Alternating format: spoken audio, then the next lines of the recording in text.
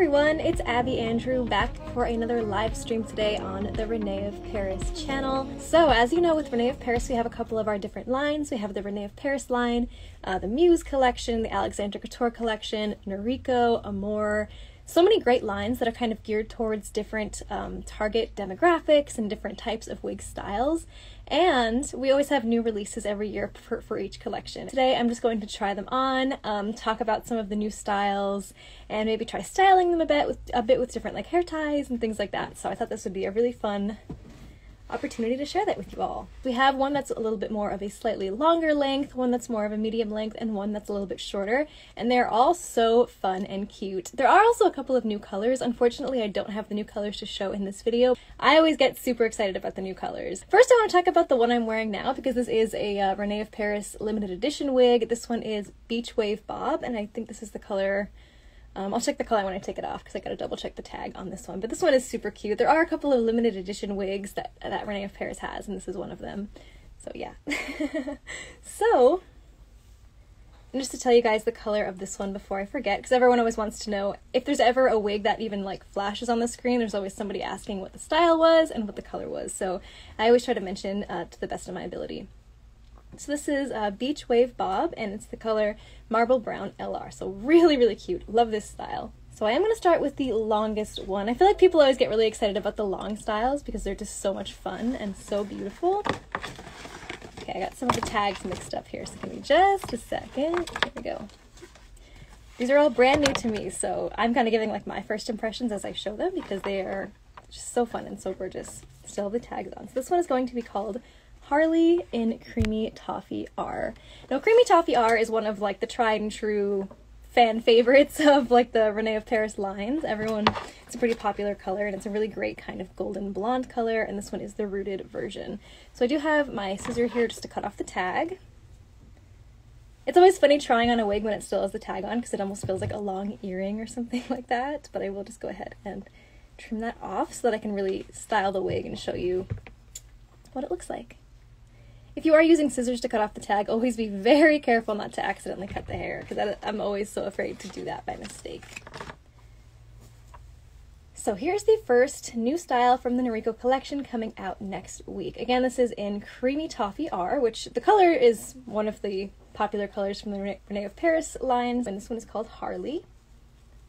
And it is lace front and lace part which if you're not familiar with that, it has that really realistic looking lace front in the front, so the really realistic looking hairline, and then it extends back to one side of the part. Which is a great cap for if you're someone that like you know you aren't going to want to change your part often. Okay, so let's go ahead and put this on.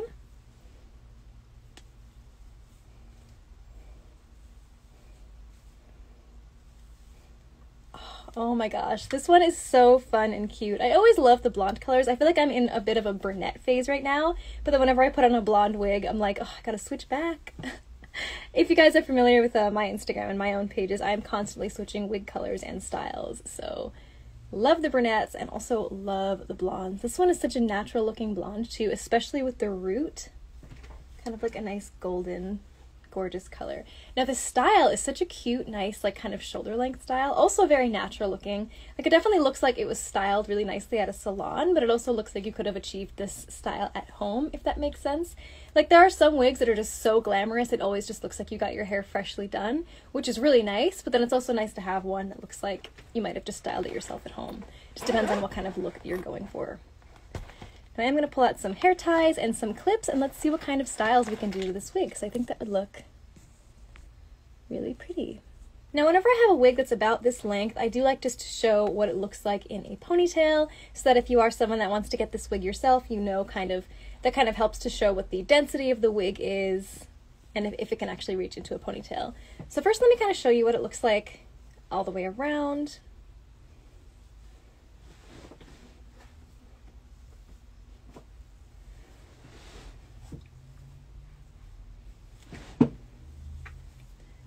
About the same length all the way around. And I will show you that uh, lace front and lace part that I mentioned. That's what it looks like from the outside. So it just kind of gives you that really natural looking hairline as if it's growing out of your own scalp. you always want to make sure that there's no hairs tucked under the lace front because that can be a dead giveaway that's a lace front. So you just want to very gently kind of like pull those out from under. But yeah, and then it also has that lace part, which is very realistic looking. So let's go ahead and just put this in a ponytail just to see what that looks like. Wow, so this actually goes really nicely into a ponytail, especially with that lace front. You can really like gently brush the whole thing back. You might have to be careful with the wig kind of sliding back on you, but you can just readjust it afterwards. So this really nicely does go into a ponytail, which is cool.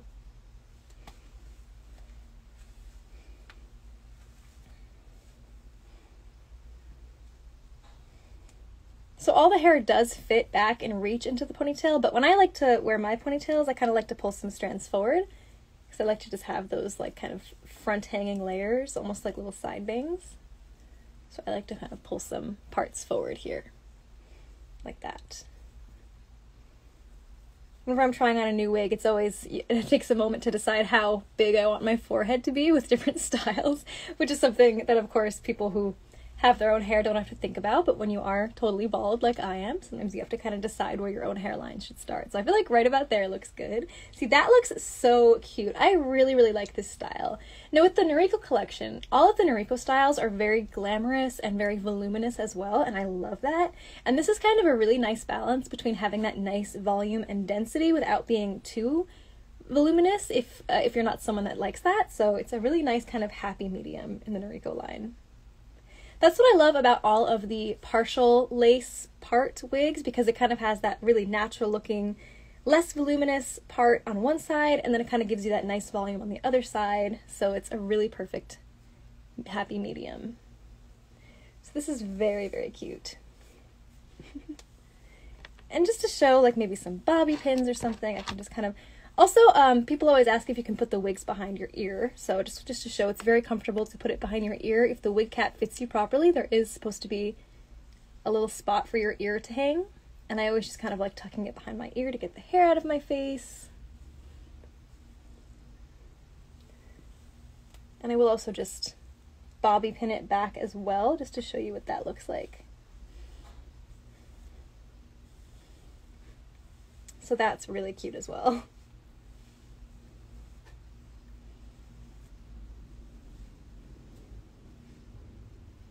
So again, this is the longest one of the three styles. So let me see what other kind of cute styles I can put it in while I have it on, because the longer styles you can do a little bit more styling with. I want to try to do so. Texas Wig Fairy or Danny, who again is one of our social media family on here at René of Paris, she always does these really fun updos. So I kind of want to try one of her updos. Let's see if I can do this. I don't know if I can do it justice, but if you kind of like as long as the wig cap is on securely and you kind of just flip the hair over, you can kind of catch it all into a high ponytail. She does it so well, and it kind of takes me a lot of practice, but she always makes it look so good.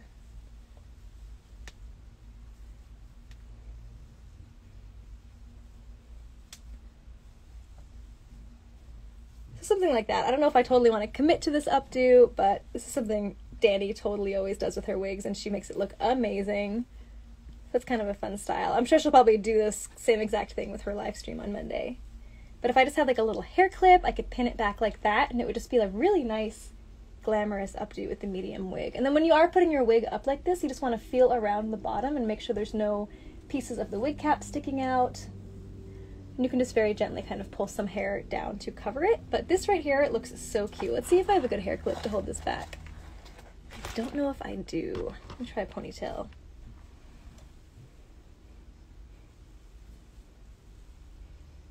Kind of do like a cute little messy bun moment, messy bun moment. Okay, that is honestly so cute. So I don't often put my wigs up into like high ponytails like that, but I love the way this looks. And the fact that it is kind of messy looking almost makes it look even more natural. So that is a really cute way to wear these sort of medium length wigs.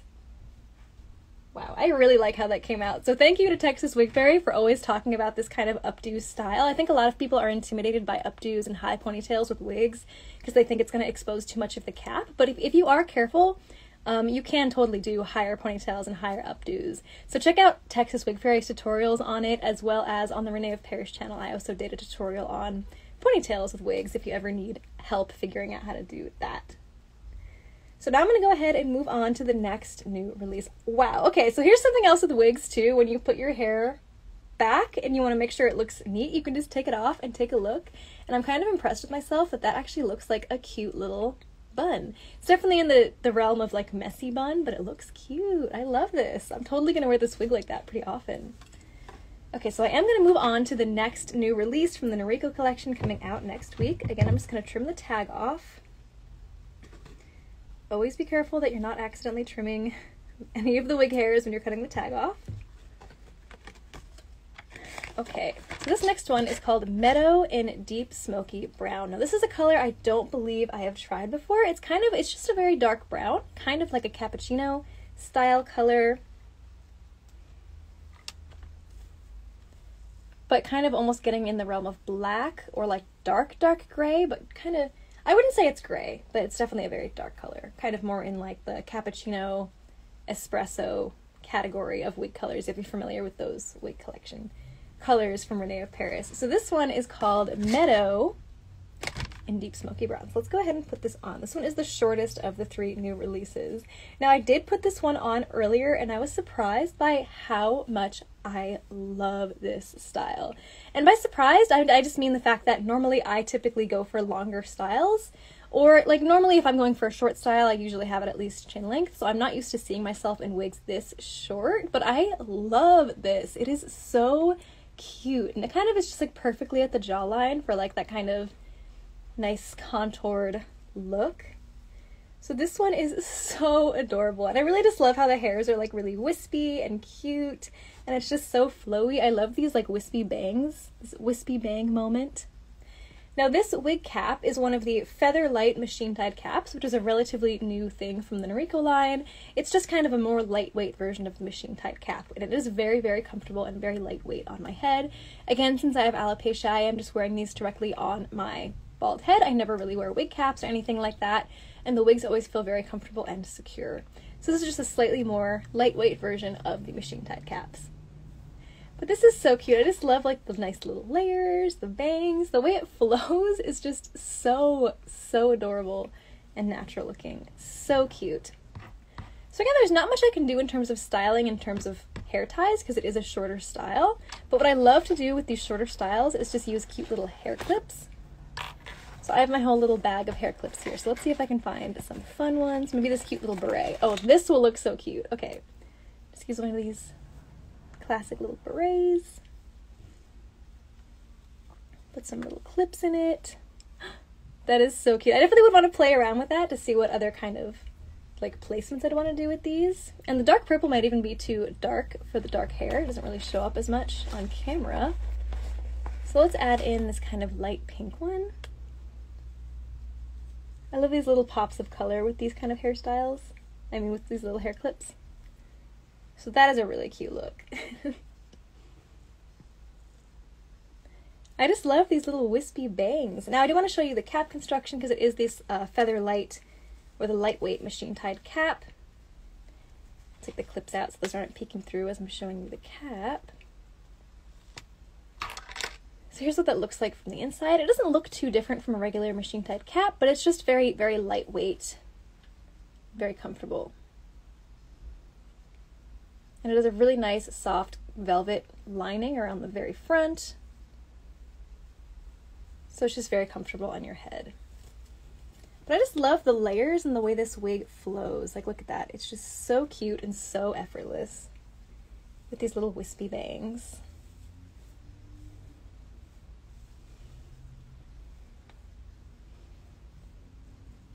Okay, so, what do you guys think? Should I move on to the final wig of the new Noriko releases? This one might, the last one might be my favorite, and it's also in a really fun color. Now, the color isn't new, but it's super gorgeous and it's new to me, so I was really excited to pull this out of the box. go ahead and cut the tag off.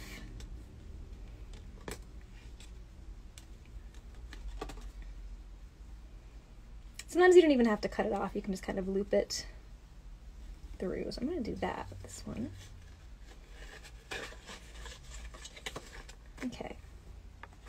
So this last one is called Zane in the color Melted Coconut. So let's go ahead and do a little swap here.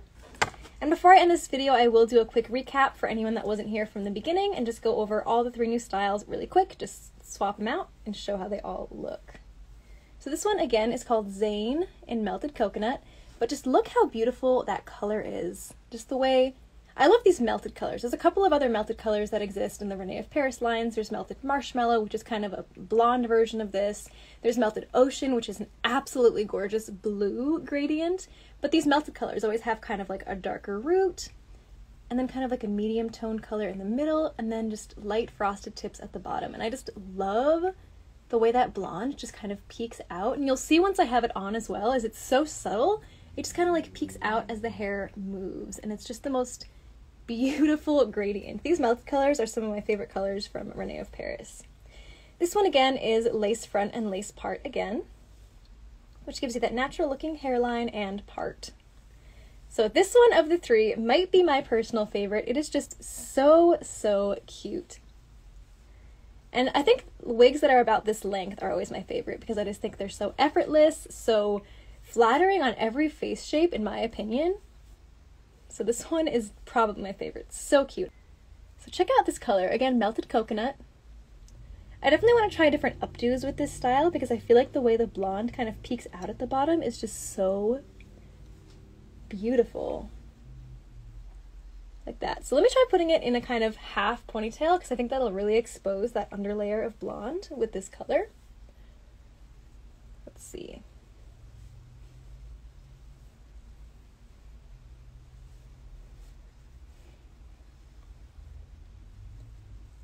As you're putting your wig into a ponytail, you can kind of like comb through the top to make sure that nothing is sticking up.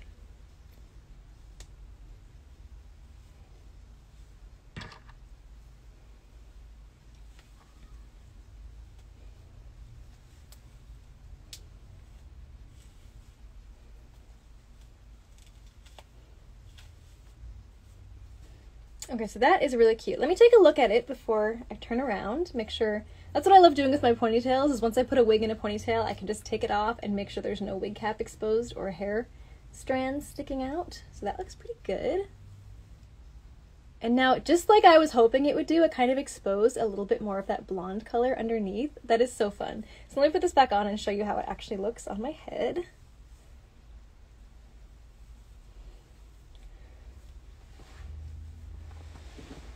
I love these side bangs. They're just so light and kind of flirty. Here's from the back. So I really just love the melted colors and how there's just such a dynamic range of colors in the wig. And half ponytail styles like this are just such a fun way to make a look just kind of cute and casual and effortless. When you're taking out your ponytails, just be sure to do it very gently so you're not pulling out any hair. Nice and gentle. So, which one of these has been your favorite so far? Comment below. I will go over them one more time, okay? So, get ready um, and then vote below which one is your favorite on me. And that's the fun about wigs, too, is the one that is my favorite, like on me, might look different on somebody else, and maybe a different one is their favorite. So, it's, it really just depends on your personal style, your face shape, and things like that, and just your personal preference. Um, someone said, "Is what you're wearing lace?" I love the style. Yeah. So this one is, uh, this one was Zane. Make sure I'm not mixing up the names. This one is Zane, and this one is lace front and lace part. So here is the lace. Uh, my camera is kind of changing exposure, so let me kind of block the light so you can see it a little bit better. So yeah, lace front, very natural looking, and then it has the lace part on the left side. So that lace extends all the way back. So it's very natural looking on top. Okay. So get ready to vote, okay? So this one is Zane in the color Melted Coconut.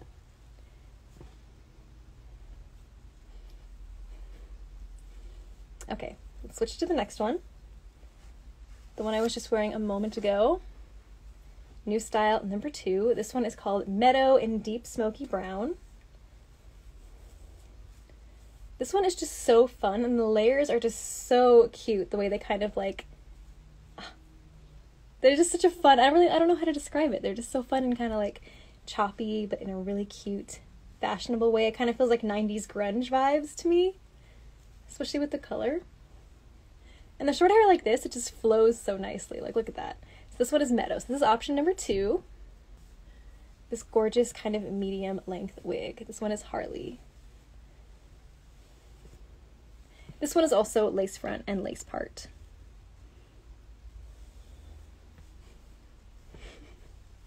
Now before I put this in a really cute updo, and I really loved how that looked, so love this. So someone is saying they liked two and one. So I guess is this one three, so I guess Zane was the first one I showed. So Zane, this is Meadow is the second one, and then Harlee is the third one. So let me know which one of the three you liked best on me. And also, separately, let me know which one you think you would like best for yourself. Because the one that you think looks best on me, you might think one of the other ones are more fitted towards you, and that's the fun of wigs, is the different styles fit different people differently, and everyone has different preferences, and that's the beauty of it. And of course, there are plenty of different colors offered for all of these wigs. Meadow is not lace front. So Meadow actually has kind of a wispy bang. And personally, in my opinion, I find that when you have a bang, you don't really need a lace front since it is covered anyway. So this one is just the uh, lightweight machine tied cap, which gives a really nice volume and it also is very lightweight and comfortable in your head as well. I think I showed before, but that's what the inside of that cap looks like.